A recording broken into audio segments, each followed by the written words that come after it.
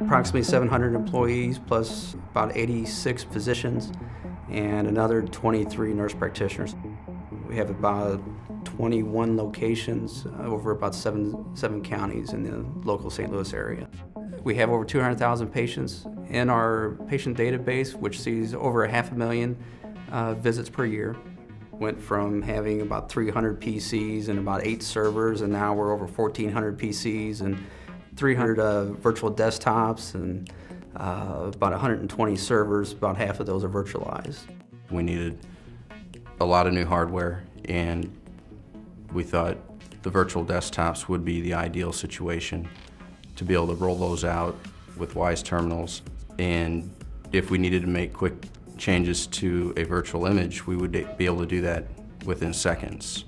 Redesigning our, our full IT infrastructure and negotiating with other companies such as HP, Cisco, uh, Xiotech, and, and Dell at the time we expanded our data center at that point. We needed almost 200 additional PCs to handle the expansion when we ended up doing most of those, uh, or all of those as uh, virtual desktops. So we were deploying that. We were going to either have to, to buy 200, actually close to 250 PCs. Uh, and so we looked at the expense of that versus looking at doing virtual desktop. With the Citrix application, you're able to boot up many desktops before working hours in the morning. So if you got 100 people that log in roughly at the same time, those machines are ready to go. And then as those get logged into, it'll start booting up others.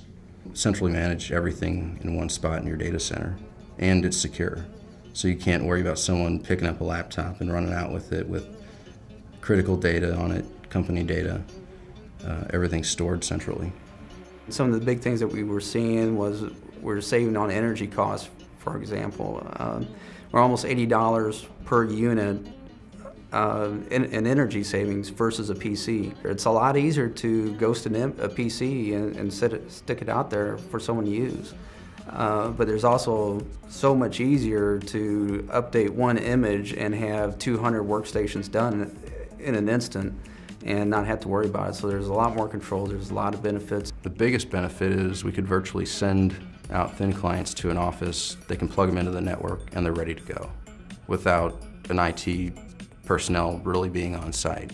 Or if, if a thin client goes bad, we're able to, again, send it out to the user, say, swap this out and you'll be ready to go.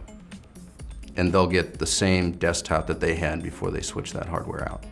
Our support costs are down because of, the, of that from uh, the, the virtual desktop units versus our PC units, we get a lot less calls on, on them than what we do with, with the others. And frankly, you're looking at 10-year lifetime potentially with a thin client versus uh, a PC that you might get three years, three to five years out.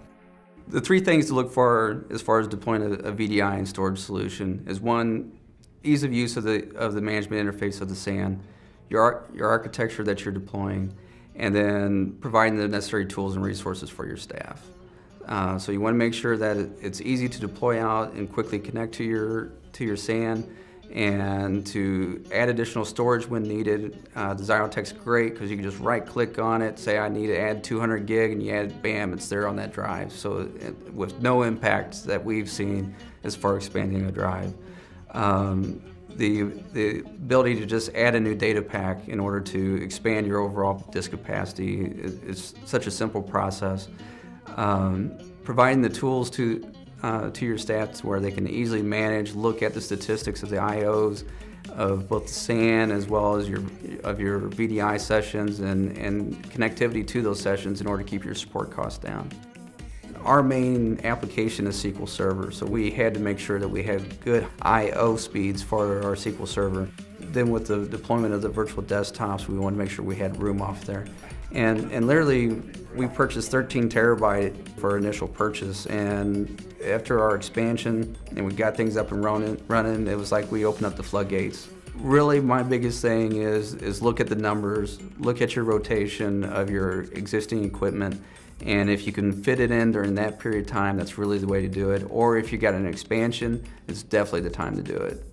It just outperforms, I mean, the specs you see out there, it's proven that the Xiotech outperforms all the others.